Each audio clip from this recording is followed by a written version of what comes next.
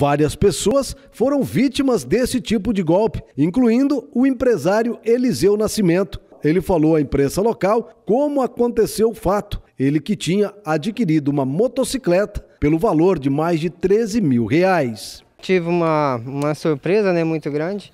É, há quase dois meses eu venho acompanhando um site de leilões para me fazer uma compra de uma moto.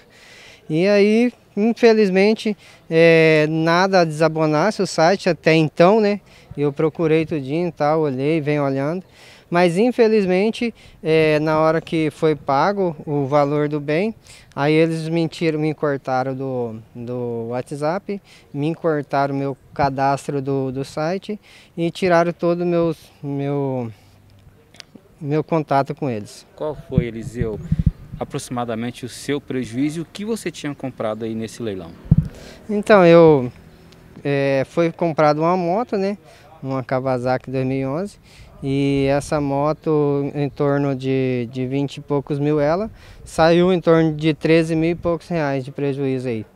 Então é, o site é União Leilões, né? Está é, em Santana de Parna, Parnaíba, o site fala que é lá o, o local que tem que tirar o veículo, mas infelizmente foi um golpe. Você chegou a depositar esse valor em uma única parcela, foi parcelado, como é que foi?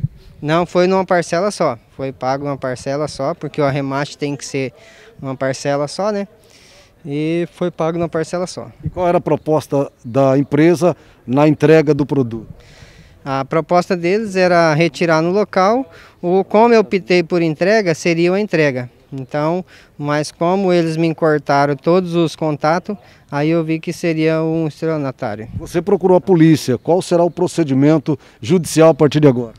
Então, vamos esperar a polícia aí, né? Estamos fazendo um boletim de ocorrência para ver o que, que eles têm para me falar. Qual a lição que você tira disso tudo, Eliseu?